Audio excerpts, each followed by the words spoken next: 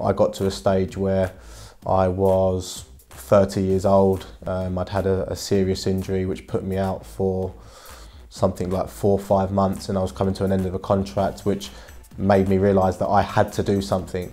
Um, so I was forced into it rather than you know being in a situation where I'd pre-planned for it.